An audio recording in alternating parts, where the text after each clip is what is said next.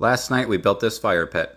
Last month we tore up this brick walkway and put down new pavers. We had 110 bricks left over, and we decided to make a new fire pit. We tore up the old fire pit that someone had made, used a rope and a stake to make a circle, and stacked them one by one. It turned out great. It was much easier than you would think, and anyone can do it. Here is your Sunday morning inspiration.